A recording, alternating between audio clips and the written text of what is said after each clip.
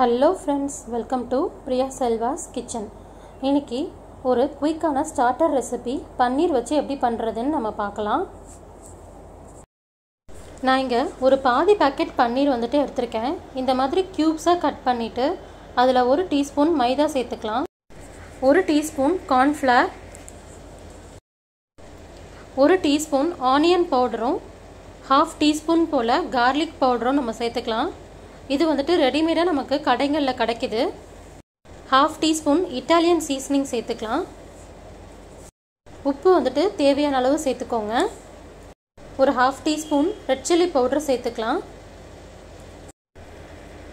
இந்த ஸ்பைஸ் பவுடர்லாம் நீங்கள் குவான்டிட்டி வந்துட்டு எவ்வளோ பன்னீர் எடுக்கிறீங்களோ அதுக்கேற்ற மாதிரி நீங்கள் அட்ஜஸ்ட் பண்ணிக்கலாம். இப்போ எல்லாத்தையும் நல்லா ஒரு வாட்டி மிக்ஸ் பண்ணிவிட்டு லைட்டாக கொஞ்சம் தண்ணி தெளித்து இந்த மசாலாலாம் பன்னீரில் வந்துட்டு ஒட்டுற அளவுக்கு நம்ம வந்துட்டு பிசைஞ்சிட்டா போதும்.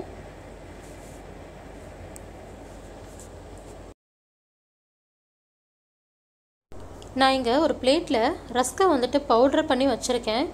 நம்ம மேரினேட் பண்ணி வச்சுருக்க பன்னீரை இந்த ரஸ்க் பவுடரில் நல்லா ஒரு வாட்டி கோட் பண்ணிவிட்டு நம்ம தனியாக எடுத்து வச்சுக்கலாம். இந்த மாதிரி எல்லாத்தையுமே வந்துட்டு கோட் பண்ணி எடுத்து வச்சுக்கோங்க.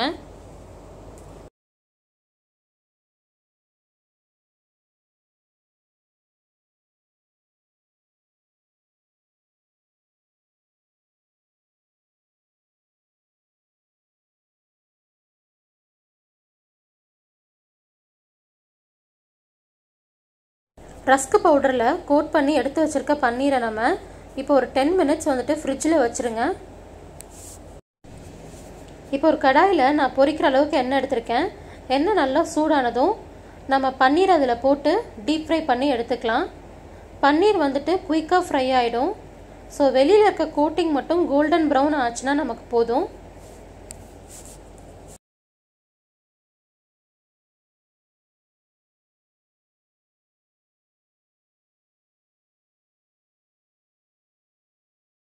இப்போ பன்னீர் நல்லா ஃப்ரை ஆயிடுச்சு. இந்த கலர் வந்தோன்னே நம்ம வந்துட்டு எடுத்துடலாம். நமக்கு நல்லா கிறிஸ்பியான பன்னீர் பாப்கார்ன் இப்போ ரெடி ஆயிடுச்சு.